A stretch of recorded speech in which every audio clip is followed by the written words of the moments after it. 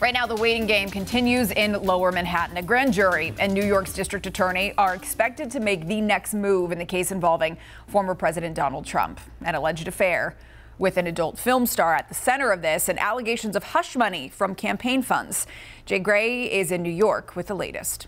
Come up here and see what's going on. Oh, the possibility of history on hold right now as the circus grows outside the district attorney's office in New York the ringmasters, former President and current Republican candidate Donald Trump, and New York DA Alvin Bragg, a Democrat, locked in a legal tug of war over allegations campaign funds were used to reimburse former Trump attorney and fixer Michael Cohen, who says he paid adult film star Stormy Daniels $130,000 to keep quiet about an affair she had with Trump in 2006.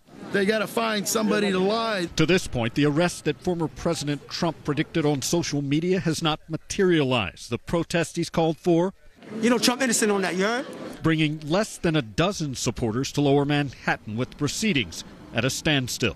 The grand jury apparently sits Mondays and Wednesdays. So if there was not an indictment yesterday, um, which by all accounts is the case, you know, one really has to think it's going to be tomorrow. Security remains on high alert. Barricades, extra officers, and surveillance cameras in place ahead of any action in or reaction to the high profile case. There are at least four other investigations into allegations against former President Trump ongoing across the country right now.